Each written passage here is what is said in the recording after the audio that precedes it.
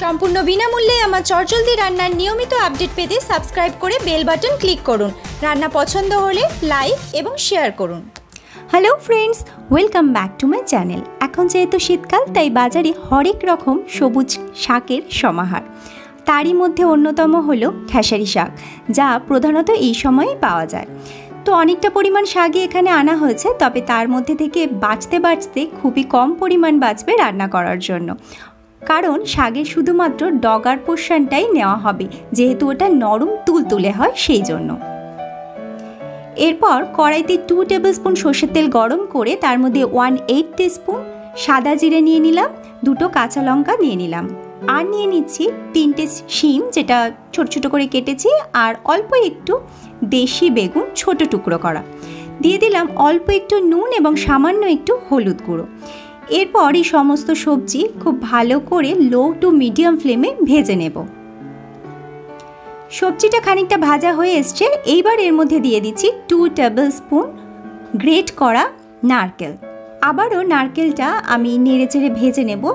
যতক্ষণ না সমস্ত কিছু ভালো করে ভাজা হচ্ছে, ততক্ষণ নাড়াচাড়া করে ভাজতে থাকতে হবে লো টু মিডিয়াম ফ্লেমে। এরই মাঝে ওয়ান টিস্পুন সর্ষে আমি ভালো করে একদম মিহি পেস্ট করে নেব। সর্ষে, নারকেল এগুলো কিন্তু স্কিপ করা চলবে না। রান্নাটা একদম নিরামিষভাবে বানাচ্ছি সেই জন্য এগুলো কিন্তু মাস্ট। এরই মাঝে সব কিছু ভাজা হয়ে গেছে, তুলে সরিয়ে রাখছি। কড়াইতে আবারও ওয়ান টেবিল স্পুন সর্ষের তেল গরম করে নিলাম। এইবার এর মধ্যে যে শাকগুলো বেছে নিয়েছিলাম, সেগুলো দেখুন একদম মিহি করে কেটে নিয়েছি। কাটার পর দু কাপ পরিমাণ হয়েছে, সেটা দিয়ে লো ফ্লেমে খুব সময় নিয়ে ধীরে ধীরে ভাজতে হবে। ভাজতে ভাজতেই দেখুন শাকগুলো পরিমাণে একদম কমে গেছে, প্রায় অর্ধেকেরও কম হয়ে গেছে পরিমাণে। সেই আন্দাজ বুঝে দিয়ে দিলাম পরিমাণ মতো নুন। একটু নেড়েচেড়ে ভেজে নিলাম। শাক সুন্দরভাবে ভাজা হয়ে গেছে, তাই এবার আগে থেকে ভেজে রাখা সমস্ত সবজি এবং নারকেল দিয়ে মিলিয়ে মিশিয়ে নিচ্ছি।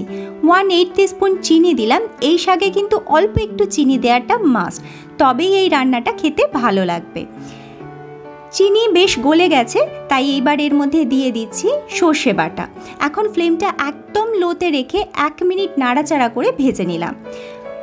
রান্না অলমোস্ট হয়েই এসছে, তাই গ্যাসটা অফ করে দিলাম।